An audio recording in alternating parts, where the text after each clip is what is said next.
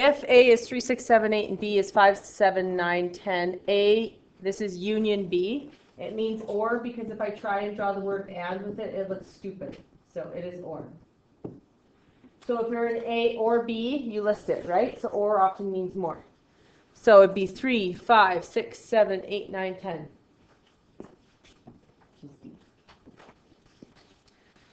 P is 2, 4, 8, 16. Factors of 6 are 1, 2, 3, 6.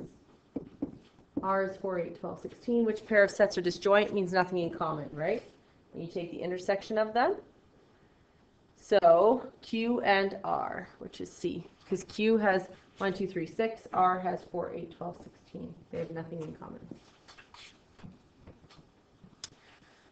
One wants the intersection. Intersection, if you forget what symbol it is, you'll have a formula sheet. I have to buy the plastic sheets to put it in. That's why you haven't got your formula sheet. They're on my desk, but haven't put them together yet. So we want the intersection between M and N, so it has to be in M and in N. So 3 and 5. A. What does this little symbol mean? The number of elements in, right? So I want the number of elements that are not in N, but are in U. So U has 9, N has 3. So how many are not in? And left to right. O is still in left to right.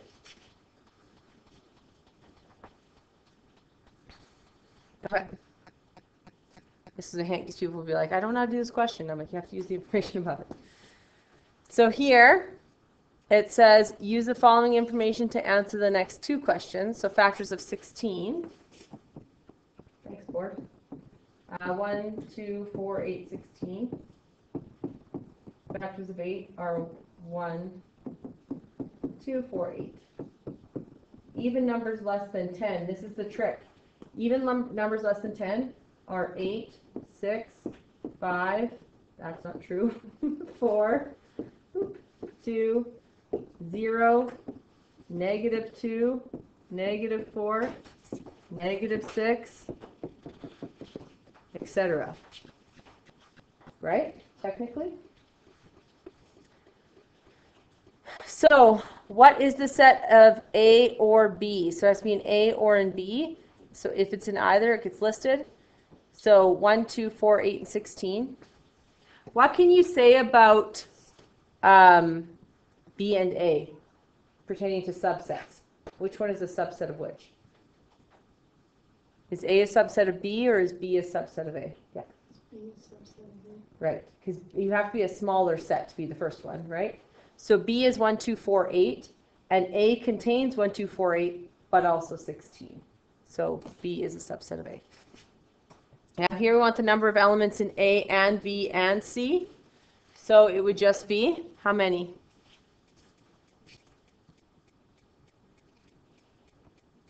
How many are in A, B, and C? Yes, three. Libby's giving me hand signals. So, yep, three. In the universal set of natural numbers, what's the complement of the multiples of 3? Where do the natural numbers start at? 1, and then it just includes everything but 3, 6, 9, 12, whatever, right? So 1, 2, not 3, 4, 5, not 6, 7, 8, not 9. Then we're going to flip back to our notes.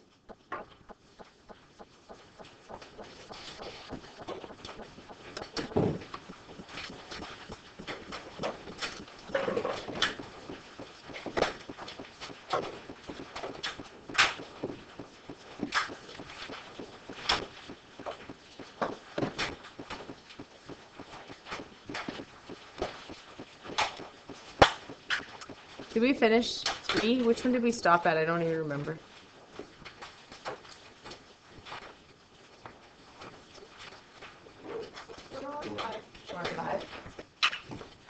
Thought we did that one. Yes. Okay. So with two circle Venn diagrams, we need to remember that we must do the inside first, smallest first. Remember? And we're going to do some little reminders. What shape is this? Oops, I changed to a different screen. What shape does this represent?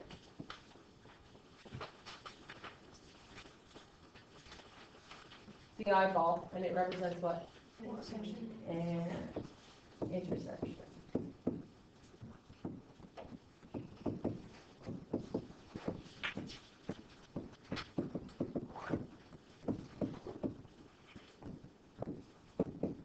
It's very helpful when we get to three circle Venn diagrams. See, it can make like. Oops. What's this? It's a snowman. What does it represent? Union. What else? War. And it's a snowman because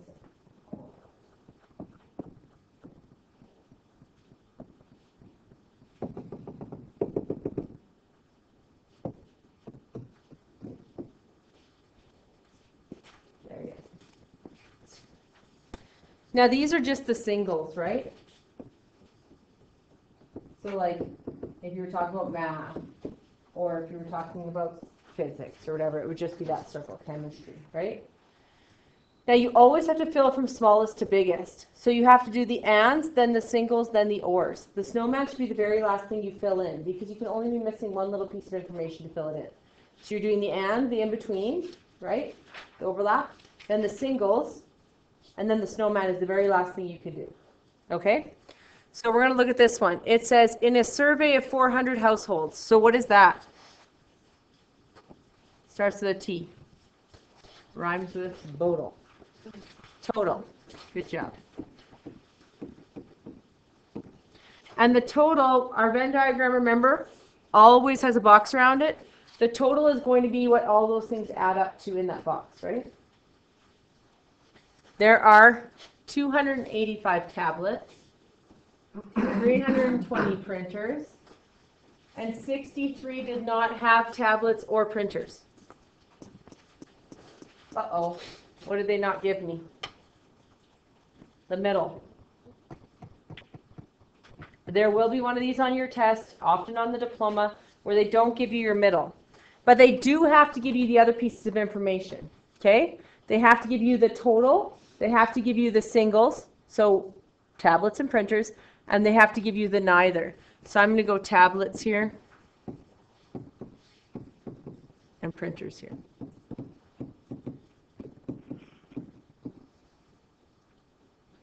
Okay, everyone put their pens down once they're done writing that.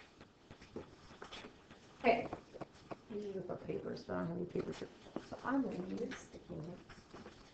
So if I said to come up to the front of the class, and, and I said to you, if you are in chemistry, you would put a C down on a piece of paper, and throw it in the bin, okay? If you were in math, you put an M down and throw it in the bin, okay? So, who's in chemistry and math? Okay, so we would go chemistry, math. That's one human, but we put in two pieces of paper. We agree? Okay? Anyone else in chemistry and math? Oh.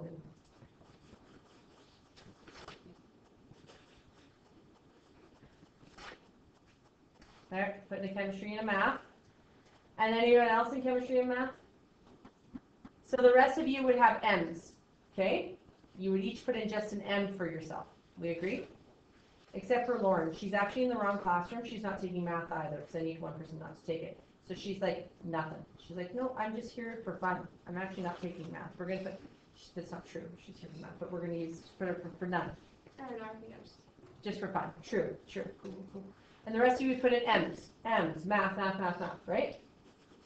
So ultimately, in the end here, would we have more papers than the class? Or the same amount of papers as the class? We'd have more, right? Because we had two people who put in math and chemistry, two pieces of paper, right? And we still included Lauren, who did, is just here for fun. She's not taking math. We needed someone not to take math, so Lauren in it. So, um, we're gonna have more than our fair share, correct? Well, how many more we have will tell us how many people are what? And? Chemistry. So if we actually take these and we add them all up, right? All the none, the people who are neither, the people who are in math, and the people who are in chemistry, if we add up all these papers, the amount that there are more than this class is how many are in both, correct? because you put in extra papers, right? So the extra amount of papers means you're just counting that person twice. They're in both, yes? Does that make sense? So if I take these people who are up here, I need to put this marker away from here. I'm going to use it on the whiteboard. Not going see it happening. Okay. Um, so we had 400 people total, correct? Just like we know how many total were in this class. So you need to have the singles, the neither, and the total. We agree? So if we went to this one, 285 people said, I have a tablet. So 285. Put in tablet papers. T, T, T, T, T, T, T, right? Then 320 put in P papers. P, P, P, P, P, P, P, P, P. Correct? Then 63 put in like ends. Neither, neither, neither, neither. I have neither of those things. Do you agree? So if we take the singles and the neither and we add them all up, we're going to get 8, and then we're going to get 16, and then we're going to get 668. What? There are 400 people total that we surveyed. That's a problem. Is it? Or what does it just tell us? How many extra are there? 228, right? So if I take, what was it, 400? What was it, 400? Yeah. 268. So if it's 400, I have 268. That must have done what then? Put in a T and a P, correct? So that's where you can find the ands. So if you have the singles and the neithers and then the total, you can take the single ones, add them up, because they put in a T and a P. A T, sorry, or a P, or maybe both. And the neithers, and add them all up. And if it's more than your total, that's how much extra, how many people put in two pieces of paper. So this would be 268 in the middle. Remember, this Venn diagram, when I add up all the numbers, they should add up to 400. We agree? If they don't, you oopsied.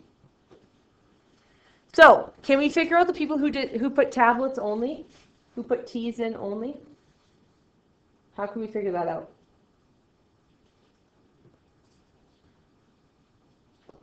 How many did tablets? How many put in T's? 285, we agree? How many are already in the T circle? 268. So what do I just do? Subtract them. So what's 285 to 268? It's 2 to get me to 70, and then 15 to get me to 85. So that's 17. So 17 had tablets only. That's it. 17 out of that whole bunch, right? Now, how many had printers only? How can we figure that out? You take 320 and subtract 268. How much does that give us? How much? 320 minus 268. You 70 would be 2. 70 to 20 is 50, so it's 52. Are we done? No, we should have a four spot. Yeah. What do we have to do? Okay, so there's 63 people on the outside too. Remember when you have a two circle Venn diagram, four spots need to be filled. Two circle Venn diagrams have four spots. Three in the circles, one on the outside. So every two circle Venn diagram, four spots should be filled. So we have 63 on the outside. Now how can we double check if we didn't make a mistake? Add it all up. So everyone, type it in. You should be getting what? 400. If you get 400, I want you to answer this question. So this one says tablets and printers. What shape is and? The eyeball, right? So how many num how many of them are there? 268. Tablets but not printers. That's a fancy way of saying tablets only. How many tablets only were there? 17. Tablets or printers? Yeah, because it's just the snowman. 337? Is that what you said? Yep. Okay, this one says, in a class of 30 grade 12 students, 20 take math, 10 take physics, and 4 take neither. How many take math and physics? This is very much exactly the same as the previous one, except instead of tablets and printers, it's math and physics. So try this one out. In this one, we have a class of grade uh, 12 students, 20, in a class of 30, sorry. There's my total. 20 take math, that's a single. 10 take physics, that's a single. 4 take neither. So I need four pieces of information in order to find an and. I need the singles, the neither, and then the total, correct?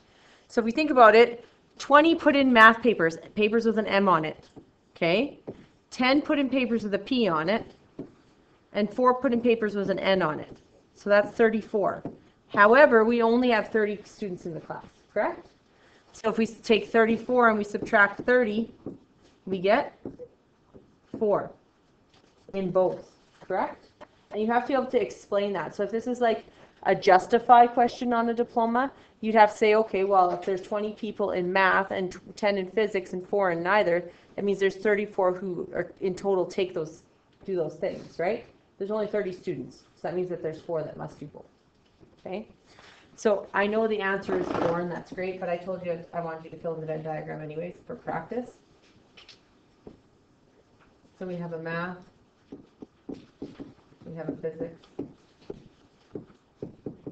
we have four outside, and we have three more places to fill. So you fill four on a two circle Venn diagram. The middle gets a four. How many are in math only? 16, because you did 20 minus 4, right? Because in this circle you need 20. And how many are in physics only? 6. I know it didn't ask that, but I wanted you to practice it. So it says, how many students take math and physics? So we'd say 4 students take math and physics.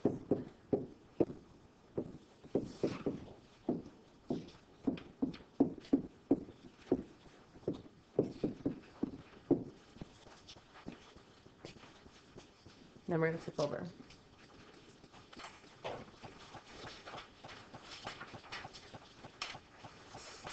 So it says, in an Alberta school, there are 65 grade 12s. Of these students, 23 play volleyball, 26 play basketball. There are 31 who do not play either sport. The following Venn diagram represents the number of students. Using this Venn diagram, answer these questions. Try it out. See how you do. So this is one where I didn't give you the and again. So we have to do 23 put in a V paper, 26 put in a B paper, 31 put in an N paper, and if I add that up, I get 80. And there are 65 people. So how many doubled up? 15. So we put the 15 in the middle. How many are in volleyball only? 23 minus 15, which is 8. And then in basketball only? 11. Should be 26. And the outside? 31. Now I can move on and answer any questions because four spots are filled in. And on every two circle Venn diagram, four, four spots should be filled in. Sue plays volleyball only. Now we can answer questions. 8. Basketball only. 11. Both volleyball and basketball. 15.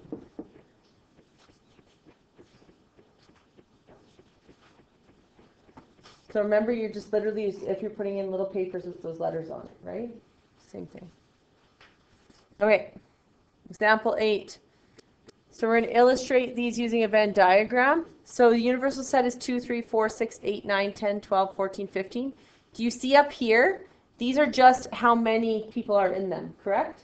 When we are given elements, we're going to do an element Venn diagram. When you do an element Venn diagram, you have to put a dot behind each number, and there's going to be more than one number per space, right? You're going to have all the numbers that fit.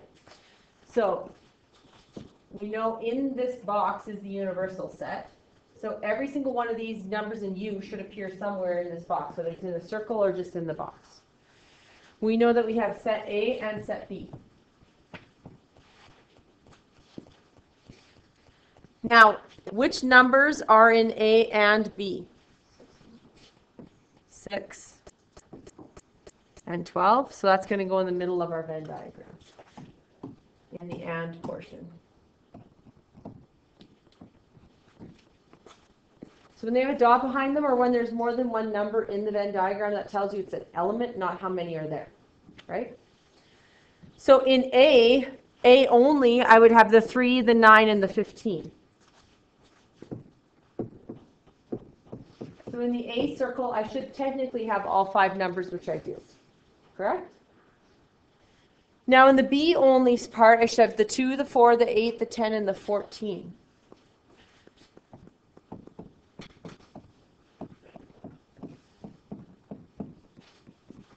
Am I done though? I still need the ones that are in the universal set, but not in those circles, correct?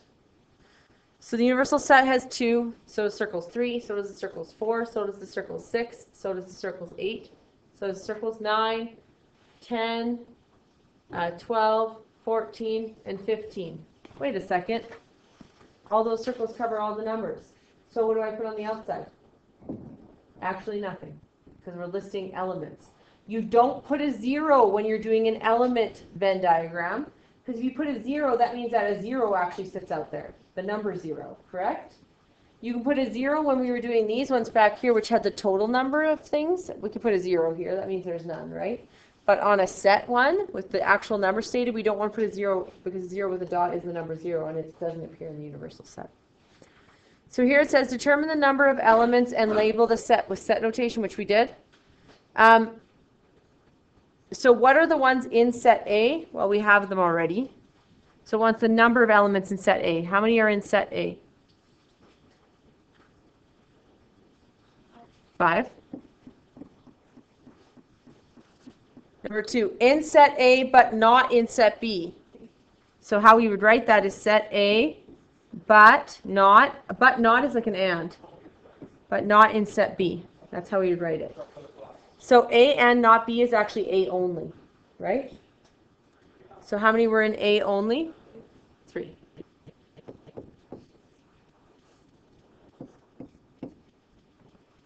In, I didn't need to put that here, sorry. I have an A. In set B would just be B. How many are in set B? Seven. Is the whole B circle. In set B, but not set A. So set B and not A is the exact same thing as saying B only, right? So how many are in B only? Five. The 2, 4, 8, 10, 14. Set A and set B? What am I doing? I'm writing an S. It's the end of the day. That's what's happening here. There are two. There are two in A and B. In set A or B, A or B is what symbol? Or what shape, sorry? The union, but also what shape on a Venn diagram? The snowman. So we count up all the ones in the snowman. There's three, four, five, six, seven, eight, nine, ten.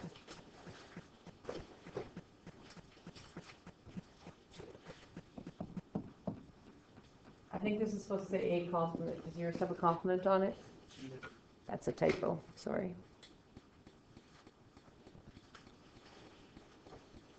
How many are not in A? Five. Could you cover up all of A with your hand? How many are not in A? One, two, three, four, five.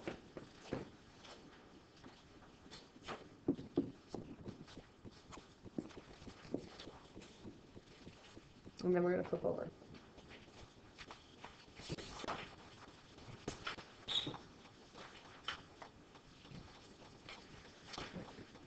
So here, there are 38 students in the grade 12 class. The number of students in the drama club and the band are illustrated in the Venn diagram. Use the diagram to answer the following questions. Write um, proper set notation. So, for example, it says how many students are in both the drama club and band. You would say um, N of drama club and band. I was just trying to get you to do set notation. And how many are in the drama club and band? In that Venn diagram. And is what shape? The eyeball. So how many are there? Eight. What is that Venn diagram missing? The outside. How would we find it?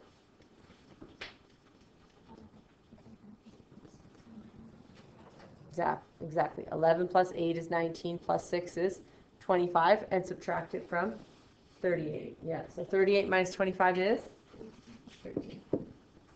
So you answer all these questions, and we're going to go through them, and then I want you guys to try this one, okay? So you're doing 9 and 10. So, B says, how many students are in drama club but not in band? What's that a fancy way of saying? Drama club only. So if we want to write it as a set, we'd go drama club but not band, right? And that's just a fancy way of saying drama only, right? So how many are in drama only? 11. Um, then two here says, how many are in band but not in drama club? So it would be band, but not drama club. That's the number of people in it. So band but not drama is the same as saying band only, correct? So how many are in band only? Six. It's that little piece that's by itself, right? Then this one says, how many students are in the drama club? So this would just be N of D, which seems easier when people get it wrong. How many are in drama? 19? In the drama club, there should be 19, 11 and 8, right? How many are in band? Band is 8 and 6, So we take the band circle, which is 14. And then here it says, how many students are in at least one of drama club or band? That just means the whole snowman, right? They're in drama club or band, or they could be in both. At least one means both as well. Okay? So that's just a fancy way of saying the number in D and or B. How many were in the snowman again? Pardon? 25? And then here it says how many students are in neither drama nor band. So basically, this is the way I find it to write it the easiest. So they want what's not in the snowman, correct? Everything but the snowman is what I want. Yes? So how do I write the snowman? Well, the snowman is or. So D or B. But I want what's not in the snowman, correct? If I write the snowman out, I just go, not in the snowman. That's the easiest way to write the set. Just not snowman. Right? Snowman is the or. So how many were not in the snowman? 13.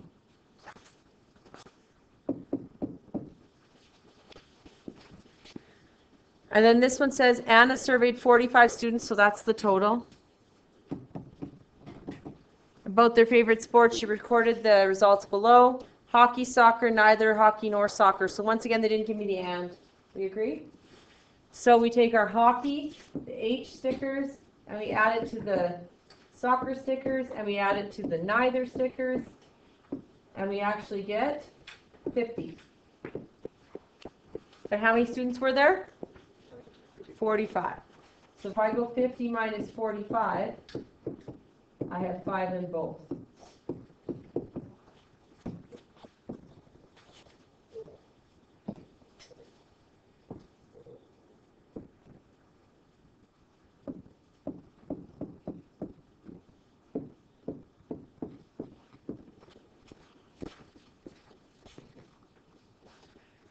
So, how many liked hockey and soccer? Five.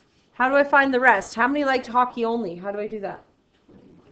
20 minus 5, and I get 15. How many liked soccer only?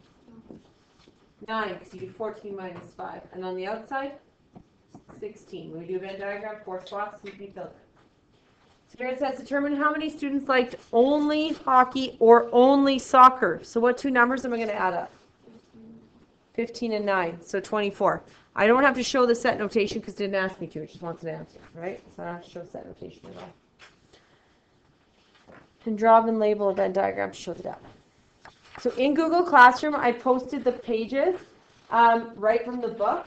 If you want, you can grab a book from the rack. You can't take them with you, but you can use it right now if you'd like, if you don't want to go into Google Classroom.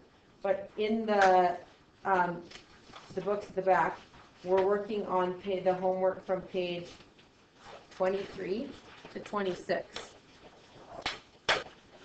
if you want to grab a workbook.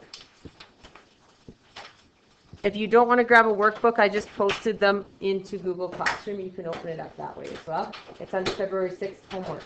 It is not due tomorrow, it is due in two days. I'll give you some time tomorrow to work on it as well. But I want you to work as hard as you can today on it. If you want to work on it tonight a bit, you can, it doesn't matter. But I'll give you a bit of class time tomorrow. But it will be due on the 8th. Okay? So, work.